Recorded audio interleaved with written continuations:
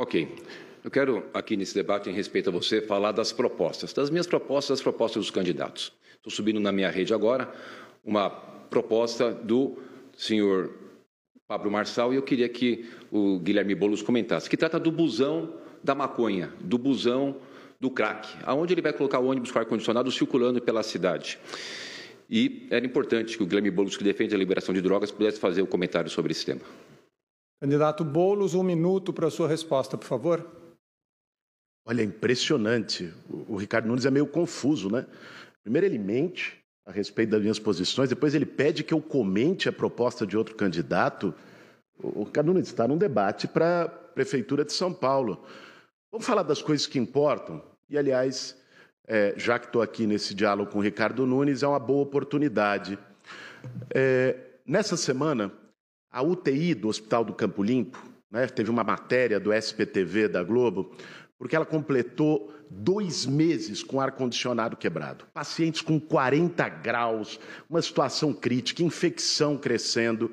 E por isso eu quero trazer, Nunes, uma pergunta para você sobre coisas reais, não sobre coisas imaginárias, sobre o que o povo está vivendo. Lá no Hospital do Campo Limpo, um dos principais da Zona Sul.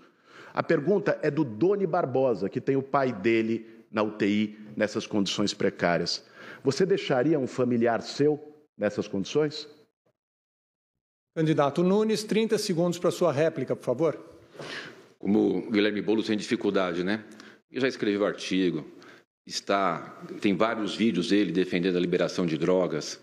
A gente não pode, de forma nenhuma, lidar com alguém que defende a liberação de drogas. Isso acaba com as famílias, isso é algo terrível para os nossos jovens. Com relação à saúde, eu fui o prefeito que co colocou a saúde financeira da cidade em ordem, que elevei de 10 bilhões em 16 para 20 bilhões o orçamento da saúde e por isso a gente está trabalhando para melhorar cada dia. Candidato Boulos, 30 segundos para sua tréplica, por favor. É, isso só existe na cabeça do Ricardo Nunes. Ele, ele, vive no mundo da fantasia, da propaganda, que ele gastou 600 milhões de reais do nosso dinheiro para criar uma realidade paralela. É assim, cidade de São Paulo, a vida é outra. Por isso eu estou subindo agora na minha rede social um vídeo com depoimento emocionante, tocante, indignante, do Doni Barbosa sobre a situação do pai dele e as imagens de como está agora a UTI do Hospital do Campo Limpo, enquanto o prefeito faz demagogia em debate.